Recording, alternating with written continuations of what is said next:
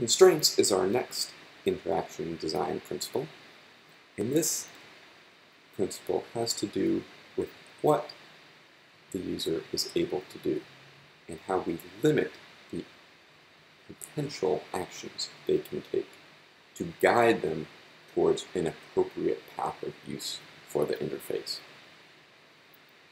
These can be graphics, they can be uh, physical, and a very important paper on this topic was written by Brygg Ullmer and Hiroshi Ishii called Tokens and Constraints, which sort of outlines the foundations of this principle.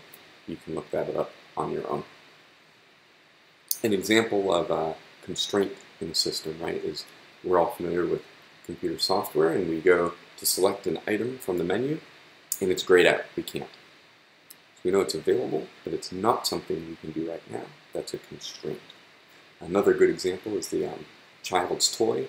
It has all the different uh, shapes, wooden blocks, a triangle, a cylinder, a sphere, a cube.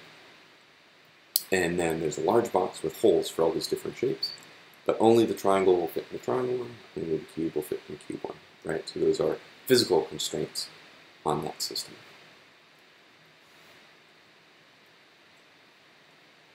And here is uh, another video from MIT Media Lab, which shows a different interactive system using bottles as a constraint system.